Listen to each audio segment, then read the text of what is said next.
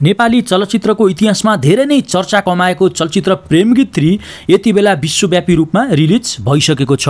आज बिहानबाट नै नेपालका अधिकांश हलहरू हाउसफुल गर्न सफल भएको चलचित्र प्रेमगीत थ्रीले इन्डियामा पनि दर्शकहरूको राम्रो रिभ्यू प्राप्त गर्न सफल भएको छ।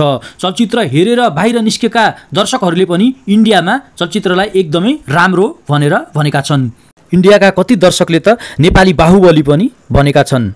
जति पनि देशमा यो चलचित्र रिलिज भएको छ सबै ठाउँबाट एकदम राम्रो खालको रेस्पोन्स आइरहेको छ। नेपालमा पनि फिल्म हेरेर निस्केका दर्शकहरूले एकदमै राम्रो रेस्पोन्स दिएका छन्। सबैले भनेका छन् चलचित्र एकदम राम्रो छ एकपटक हेर्नै पर्छ। अब यो कुरो त पक्का छ कि नेपाली इतिहासमा सबैभन्दा ठुलो चलचित्र प्रेमगीत थ्री हुनेछ। यसमा दुई मत छैन। साथै प्रेमगीत थ्रीले अन्तर्राष्ट्रिय बजारलाई पनि समाउन सफल भएको छ। अब आगामी राम्रा राम्रा चलचित्रहरू इन्डियामा लगायत विभिन्न देशहरूमा रिलिज हुनेछन्। र यदि तपाईँहरू पनि प्रेमगीत थ्रीको ठुलो फ्यान हुनुहुन्छ भने यो भिडियोलाई एउटा लाइक गरिदिनु होला र च्यानललाई सब्सक्राइब गरिदिनु होला र यदि तपाईँहरूले यो फिल्म हेरिसक्नु भएको छ भने तपाईँहरूलाई फिल्म कस्तो लाग्यो कमेन्ट बक्समा एउटा कमेन्ट गरिदिनु होला